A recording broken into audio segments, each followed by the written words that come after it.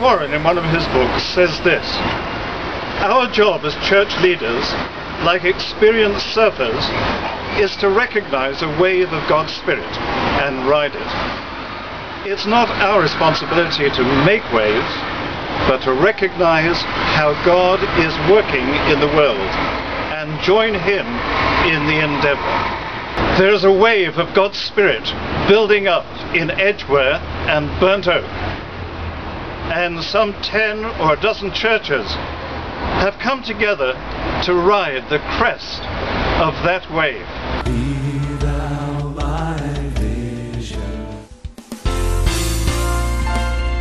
Spreading Christmas cheer offers an opportunity for Christians to come into contact with so many people at all ends of the spectrum to share the joy of Christ and the Christmas season with them.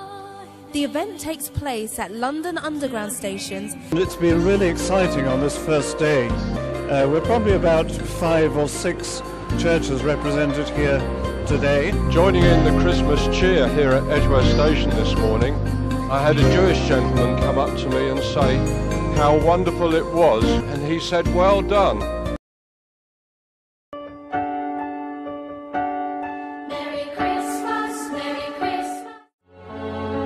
Over the last few years, members of local churches in Barnet have given faithfully to help people in our community who would not otherwise have been able to afford a decent meal at Christmas. We have been able to cover over 10 different estates of deprivation and lots of individual houses right across the borough.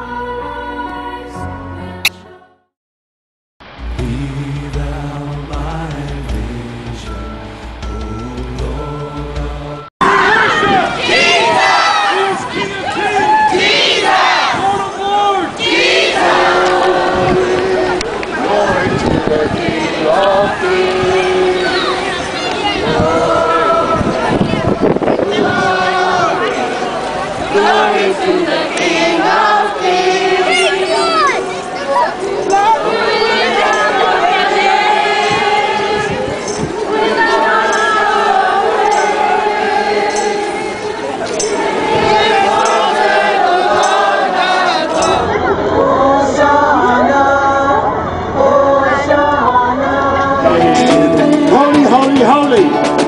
Holy, holy, holy. Holy, holy, holy.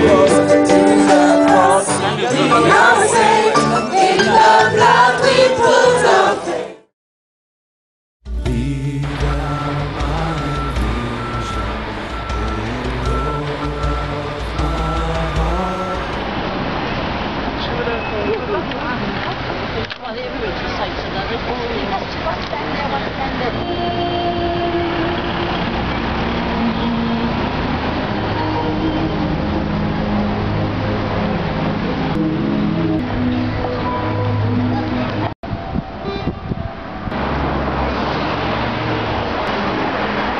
One lady, Margaret, um, she has trouble in her calf, when we were praying for her, her muscle started spasming, and then uh, she actually um, she actually said that she felt kind of a warm sensation in her calf.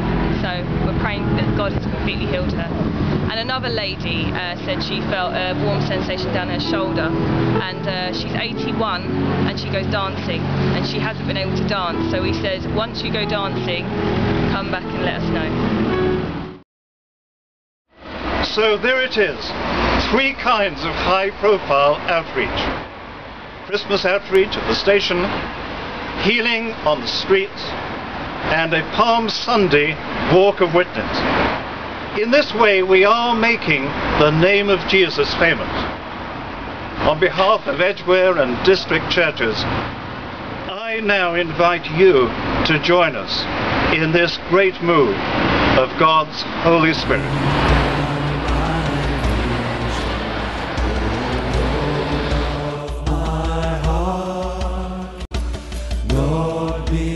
all else to